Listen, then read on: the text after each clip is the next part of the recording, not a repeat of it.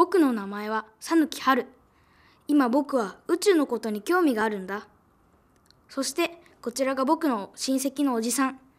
東北大学で素粒子実験っていうのをしているんだって。おじさんが言うにはこの素粒子というのが宇宙を知るキーワードみたい。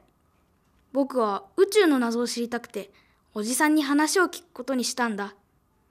宇宙には何があるんだろう。宇宙はどうやって始まったんだろ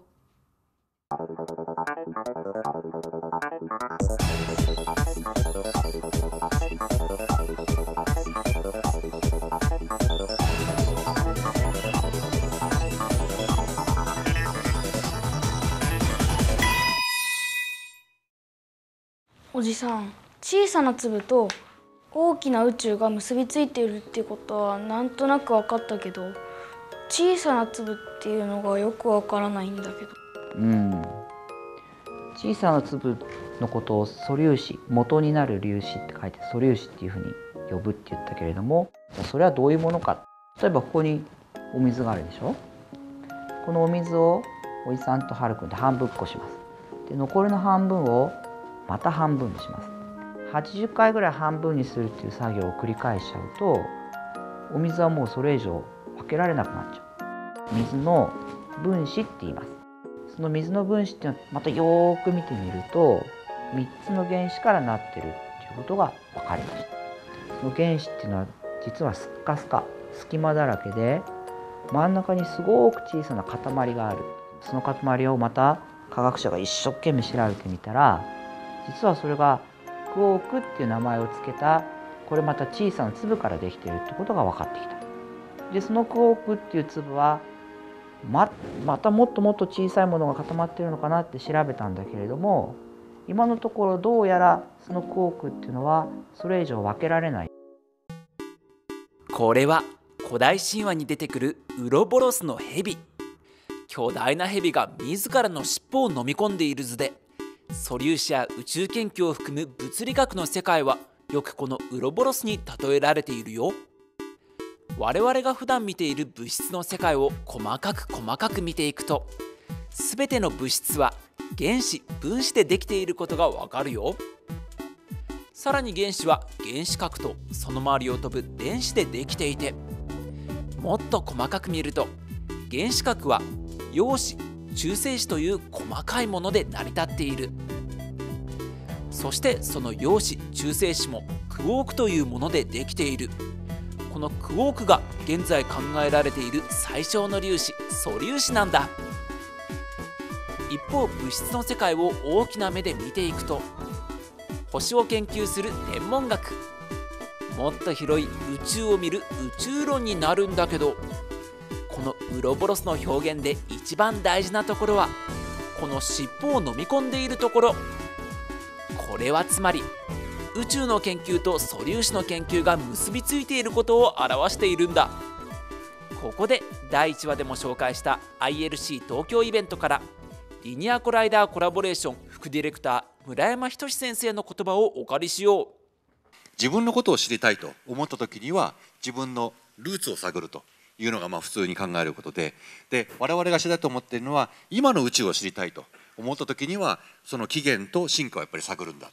ですからそうやって宇宙を知るために私たちの今住んでるこの宇宙を知るために宇宙の起源進化を探っていかなきゃいけないんだ。そうやってむしろ自分を知ることになるんだということをあのいつも思ってます。でそのためにじゃあ宇宙の起源を知るためにどうすればいいかっていうと欲しいのはタイムマシンなわけですがでタイムマシンっていうのは実際にあって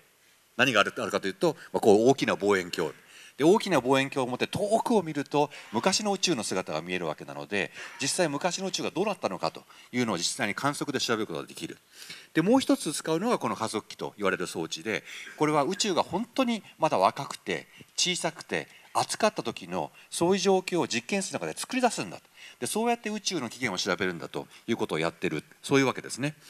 実際こういう大きな望遠鏡を使うと、まあ、こんな綺麗な写真が撮れるわけでこれはまあ一つの例ですけど21億光年も向こうの銀河の集まりが見えてる。ですからこの望遠鏡を使うことで21億年も昔の宇宙の姿を実際調べることができるわけでこうやって私たちの宇宙のあのなんで自分たちがここにいて宇宙はどうやって進化してきてもともとどういうふうに始まったのかということはいろいろ分かってきてはいるわけですけれどもでも実はあの望遠鏡を使ってどこまで行けるかというとここまでしか行けない。で宇宙が始まって、まあ、38万年のところまで望遠鏡を使って実は見ることができるわけでこれとんでもないことですけれどもでももっと宇宙の起源我々がどうしてここにいるのかってことを知りたいと思ったらこれももっと前に行かなきゃいけない。で望遠鏡ではどんなに頑張ってもこれは自然法則ですのでこれ以上前に行かれないんだということがもう分かっています。この前になると宇宙があまりに熱くて濃いそういうスープのような状態になっているもので望遠鏡で見ようと思っても光がスーッと通らない。ですからこれ以上前を見ることはもう決してできないわけですね。でしょうがないので別の方法を使う。でそれが先ほど言った加速器でこれを使うと宇宙のその熱くて濃いスープの状態を実験室の中で作ってみるんだ。そうすればその時の宇宙何が起きていてどういうふうに宇宙が始まって今までに至ったのかということが分かるんだと。では加速器実験とは何か。そして加速器でなぜ宇宙がわかるのか。再び讃岐先生とはるくんのお話に戻りましょう。宇宙はすごい狭いところにものすごいエネルギーが固まっている。そういった状況から宇宙は生まれたってことなんだ。でそういうすごい狭いところにものすごいエネルギーがあってそのエネルギーが一気にバッ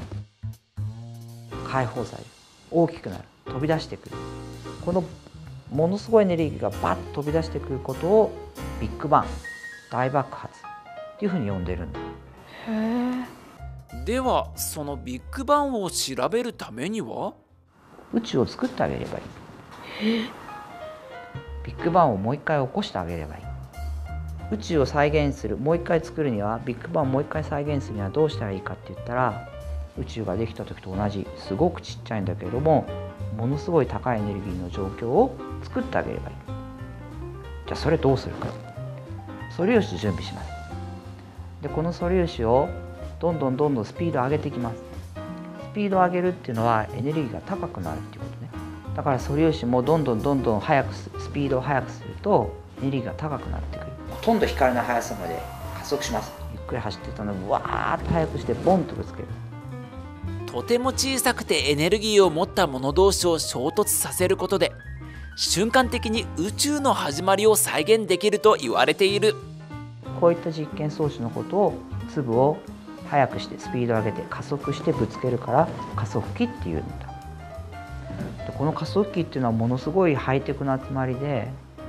あのとても難しい複雑な機械なんだけれどもこういう宇宙を作るだけじゃなくていろんなことに応用されてる。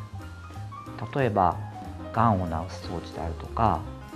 それから小さなものを見る電子顕微鏡とかね。そういったことにも使われているのが加速器の技術なんだ。でこの機械がもしかしたら日本に作られるかもしれない。世界で本当に最先端の研究所が日本にできたりすると世界中の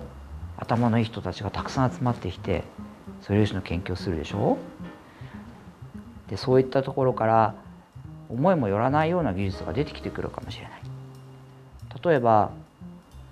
インターネットって使うでしょ、うん、あの WWW やつはセルンで生まれた技術なんだよ。へえ。なんか随分いろんな話をしちゃったから疲れちゃったかな。まあ話だけだとよくわからないと思うから一度本物を見るといいと思う。まあ残念ながら ILC はまだないけれども筑波に高エネルギー加速研究機構という研究所がある。でここで ILC の技術開発をしているしいろんな加速器実験を行っている。